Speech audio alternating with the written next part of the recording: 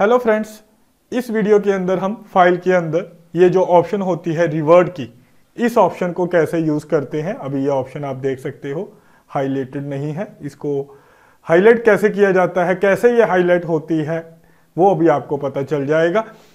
तो ध्यान दे स्टूडेंट सबसे पहले आपने कोई भी जो आपने एग्जिस्टिंग फ़ाइल कॉरल के अंदर बनाई हो, वो ओपन कर लेनी है। जैसे मैंने ये जो एक एग्जिस्टिंग फ़ाइल बना रखी है, जो अभी आप स्क्रीन के ऊपर देख रहे हो, ये मैंने ओपन कर ली है। कोई भी एग्जिस्टिंग फ़ाइल जो आप बना चुके हो, जो आपने सेव कर रखी है। लेकिन पहले बनाई थी, अभी रिसेंटली अगर आप उसके अंदर कोई भी चेंजेस करते हो, जैसे ये देखिए, ये मैंने फ़ाइल अपनी ओपन कर ली है। और उसके बाद मैं इसके अंदर कुछ चेंजेस करता हूँ, जैसे मैं इसके अंदर ये एक एलिप्स यहाँ पे ये एलिप्स ड्रॉ कर देता हूँ। इसके अंदर यहाँ पे हम कलर भर देते हैं, यहाँ से कलर भर दिया। ऐसे ही यहाँ पे हम एक दो शेप और बना लेते हैं, जैसे ये पॉलीगॉन शेप ड्रॉ कर लेते हैं। यहाँ पे एक पॉलीगॉन शेप ड्रॉ कर ली। यानी कहने का मतलब ये है फ्रेंड्स कि जो फ़ाइल हमने एग्जिस्टिंग ओपन की थी, अभी जो फ़ाइल ओपन की थी, उसके अंदर हम ये कुछ चेंजेस कर रहे हैं।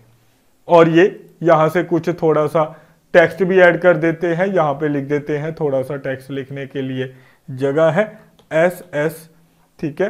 तो यहाँ पे टेक्स्ट लिखा, इसका साइज़ बड़ा कर देते हैं। तो ऐसे आप लोगों ने, मान लीजिए, कुछ चेंजेस की हैं अपनी एग्जिस्टिंग फ़ाइल के अंदर। अगर आप चाहते हो, ये जो आपने चेंजेस की हैं, ये रिमूव हो जाए, जो भी जो एग्जिस्टिंग फ़ाइल ओपन करने के बाद आपने जितनी भी चेंजेस की हैं अगर आप उनको रिमूव करना चाहते हैं, तब हम इस ऑप्शन फ़ाइल के अंदर ये ऑप्शन होती है रिवर्ड की। इसके ऊपर आपने क्लिक करना है, नाम से ही पता चल रहा है रिवर्ड तो ये ऑप्शन भी ये देखिए एक्टिवेट हो गई है।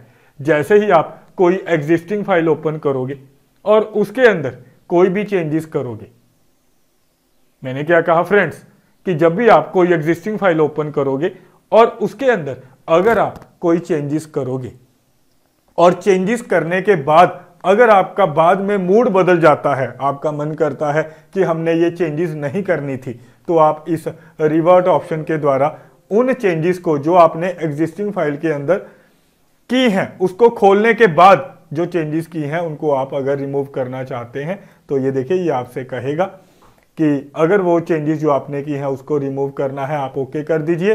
तो जैसे ही आप ओके करोगे, ये देखिए, जो भी आपने चेंजेस की थी वो रिमूव हो जाएँगी आपकी इस फ़ाइल में से। तो इस तरीके से हम इस रिवर्ट ऑप्शन को, ये जो आप देख रहे हो रिवर्ट ऑप्शन को यूज़ करते हैं।